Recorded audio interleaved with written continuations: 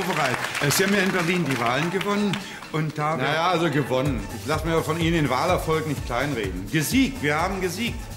Naja, also trotzdem wurde Ihre Regierung abgestraft. Der Koalitionspartner PTS hat 10% ja Minus gehabt. Das müssen Sie anders rechnen. Denn die SPD hat 2001 29,7 Prozent gehabt, da haben Sie recht, aber bei einer Wahlbeteiligung von 70 Prozent. Das ist etwa ein Drittel. Jetzt haben wir eine Wahlbeteiligung von 60 Prozent gehabt, aber für die SPD 31,4. Und 31,4 ist ja wohl eindeutig mehr wie die Hälfte von 60. Und die Hälfte von etwas ist fast das Doppelte von einem Drittel von etwas. Und ich denke, das ist jedem klar. Die Rechnung ist ja völlig verzogen. So rechnen wir den ganzen Haushalt, sonst hätten wir ja nur Schulden. Na, die haben Sie ja auch.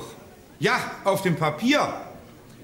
Wir leben aber in Saus und Braus, weil wir im realen Leben besser rechnen können. Prost.